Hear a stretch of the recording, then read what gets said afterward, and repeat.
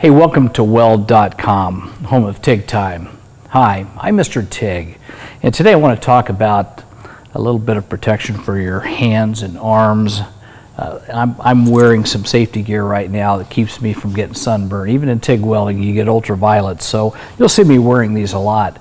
But I get the question a lot, especially on the forums, what kind of gloves do I use and why? Uh, so I want to show you, I brought four different types of gloves here today and talk about the pricing, what you pay for them, what they're made of, and why you'd select them over another. So, uh, you know, a lot of times it's price. And uh, so I went down to a local store. I won't tell you the name of it, it's just the last name is Freight. And uh, I picked up a pair of gloves. And I've actually used these before. And uh, I thought they were cotton gloves. At least I thought they were. Turns out that they are cotton, but they're only 30% cotton. And uh, they have good flexibility, and you can get good good coverage as far as uh, you know get, getting your hands burnt, things like that. But uh, the problem is these little dots right here, they're kind of a rubber, and, and when you touch your part, they'll burn. Now the uh, the material itself, I'm reading through it. It says 30% cotton, 70% polyester. So uh, we're going to show you a demonstration here in a little while. I'm going to weld up aluminum plate and then uh, pick the plate up with these gloves. So just beware that they give you a little bit of coverage, um, not a lot. So if that's all you've got, then, uh, then great. They sell for a dollar a piece. So I'm going to set those aside for the moment. Here's one of my favorite gloves, and uh, this is a, a, a, thin leather. Sometimes they make them in goat skin, but uh, uh, there's a lot of manufacturers of these, and I, I like these a lot because they're pretty flexible. They're still leather, or goat skin all the way around. And you can see the fingers. You can see I've actually burnt this finger and been able to pick up parts, things like that. And one of the reasons these are so attractive is they give you great coverage, but uh, they only sell for, I don't know, somewhere between 12 and $15, depending on uh, which brand that you get. But still get uh, pretty good coverage with this. And then I'm going to move over to uh, kind of the you know, this is, this is the average or below average, and this is average, and this is best. Um, and the reason that it's actually a super high quality glove is because they take into consideration a couple of things. One is, we had talked about this glove, and if you take a look at these fingers, and you pick up parts an awful lot with these two fingers, uh, usually you burn this finger and this leather will shrink. Well, this glove took that in consideration and they put a little extra leather pad right there. And they put another little extra pad right there at your thumb. And those are the common places to burn your glove, so you get a lot more life out of it. So the, the finger doesn't shrink up real small and you're trying to feed your hand into it. So you've got, you've got double coverage in a couple of different areas. So you, you can just see the quality difference.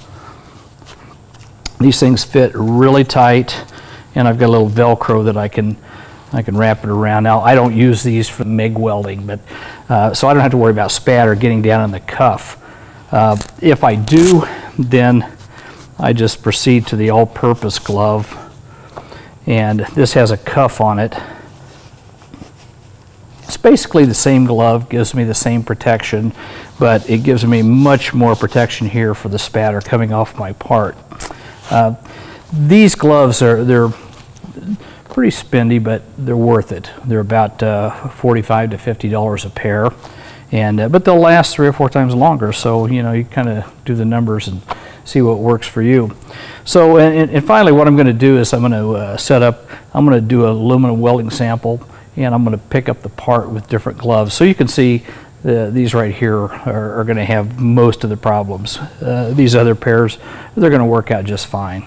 So let me get my gear on, I'll run a sample and show you.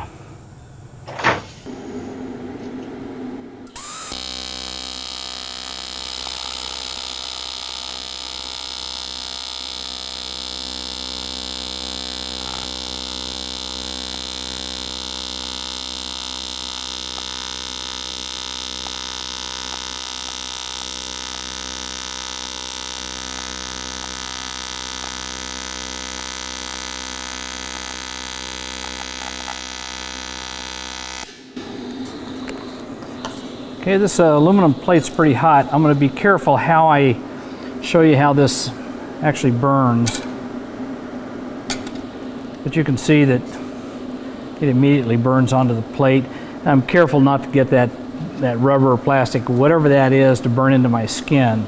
So I'm going to go ahead and uh, pick this thing up and you can see that I get not a problem at all.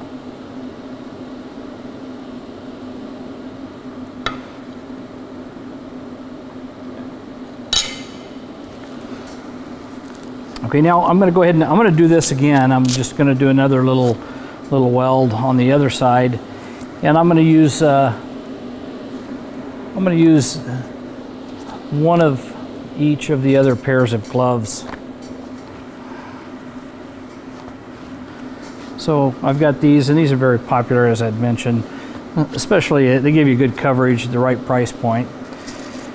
These definitely are, are heavy duty, and you can see the little pads on there. And, and when I grab this, I'll be grabbing with those two pads. So let's run another weld, see what it looks like.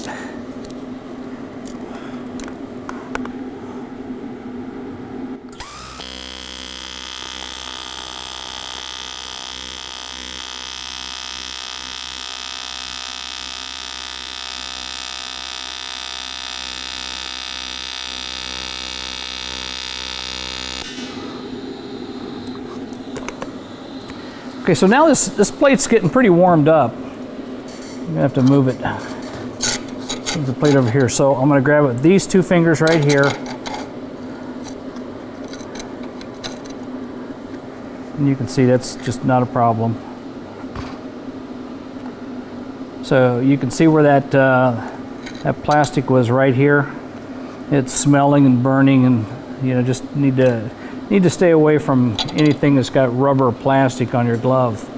So uh, all in all, of course, these are the heaviest duty because of all the different uh, overlays and overlaps. Um, these held up pretty good. You can actually see burn marks on them. And you can see that the finger is starting to shrink up. And as you get more and more burn marks on it, that finger will shrink up more. So that's really what causes the longevity issues with this type of glove. Uh, I do an awful lot of light welding, so gloves last me a long, long time. So uh, that's it for now. Just go out and get yourself a glove that's comfortable for you. And uh, thanks for watching TIG Time. I'm Mr. TIG.